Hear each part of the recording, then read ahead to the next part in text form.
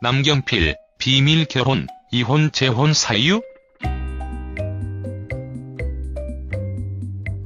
남경필 전 경기도 지사가 10일 비공개로 결혼식을 올렸다.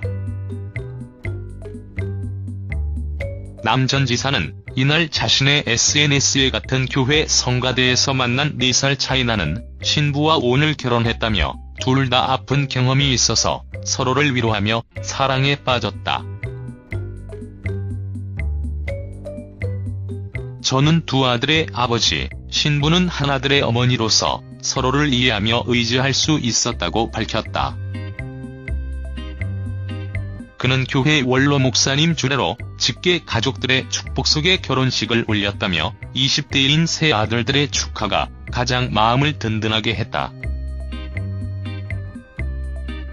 그리고 제 아들들의 엄마와 신부 아들의 아빠가 마음으로 보내준 축하가 큰 힘이 됐다고 밝혔다. 남전 지사는 가족들 외에는 가까운 지인분들에게도 알리지 못해 죄송스럽다. 넓은 마음으로 이해해달라고 했다.